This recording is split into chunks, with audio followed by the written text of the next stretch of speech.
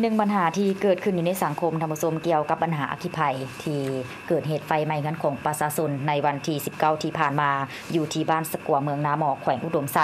ที่ได้รับผลกระทบสร้างความเสียหายบ่ว่าจะเป็นอ่าชีวิตและทรัพย์สินของประชาชน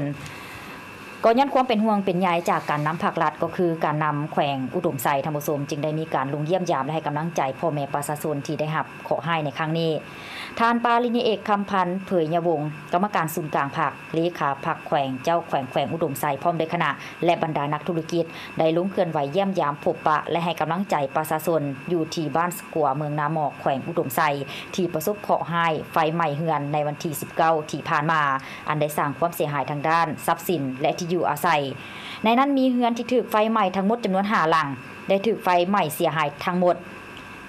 มีจักสีเข้าทรัพย์สิน เงินพาหนะและเครื่องนุ่ง เครื่องใส้ภายในเฮือนเสียหายทั้งหมด มีพลเมืองที่ได้รับผลกระทบทั้งหมดแม่น22คนเป็นหญิง10คน รวมมูลค่าทั้งหมด259ล้านกว่ากีบ ส่วนสาเหตุ ในการเกิดอัคคีภัยครั้งนี้มันเกิดจากความบ่ระวังในการใช้ไฟดังไฟแตงกินเหตุให้มีการเกิดอัคคีภัยขึ้น ต่อกับสภาพการดังกล่าว ก็ย้อนความเป็นห่วงเป็นใยของคณะผักองค์การปกครองแขวงก็คือองค์การปกครองทุกขั้น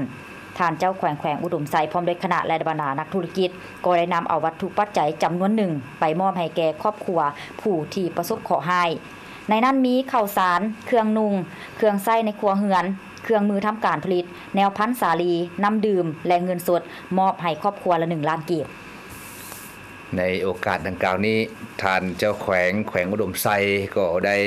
ให้กำลังใจกับครอบครัวที่ประสบกับข้อห้ายจากอคีภัยครั้งนี้ พร้อมทางซี่นำให้ประชาชนภายในบ้าน เป็นจิตหนึ่งใจเดียว ช่วยเหลือกัน ทางด้านแรงงาน ช่วยในการปลุกสร้างที่อยู่อาศัยให้ครอบครัวผู้ประสบข้อห้าย ให้ผ่านพาปัญหายุ่งยากนี้ดูล่วงไปด้วยดีในพร้อมเดียวกันนี้ก็ให้เพิ่มสติระมัดระวัง ในการดังไฟแต่งอยู่ครัวกินอยู่ในเงินเจ้า